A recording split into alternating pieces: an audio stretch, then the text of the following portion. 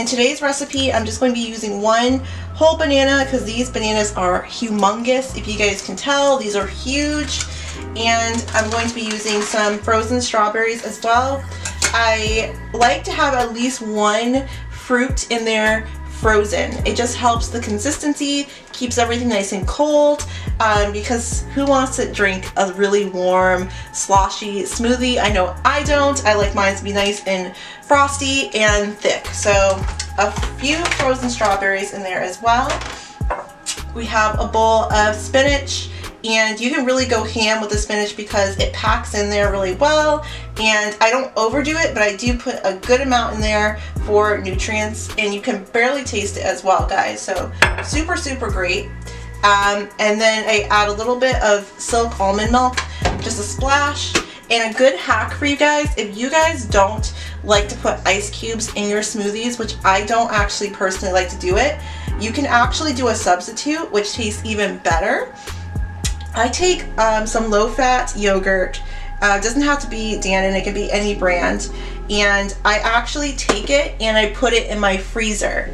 Now, some people, you know, don't do that, but for me personally, it's like the perfect hack to substitute ice cubes for something else that's frozen.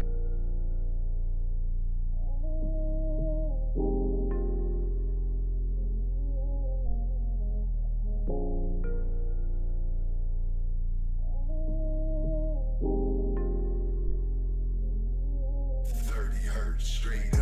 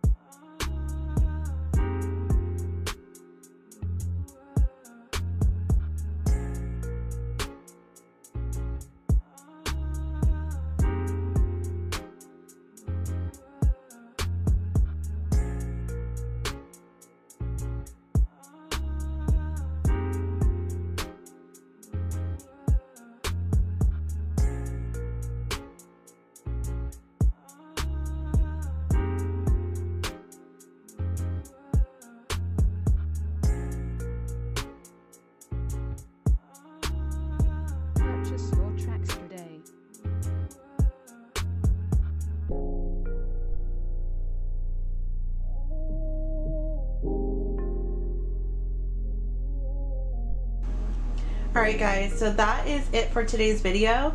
I am absolutely loving this type of recipe. It is just the perfect combination of everything and it's just so delicious. Promise you guys, if you try this at home, this tastes exactly like a strawberry banana smoothie and the green uh, is okay. Um, the spinach obviously colors it, um, but you can barely taste it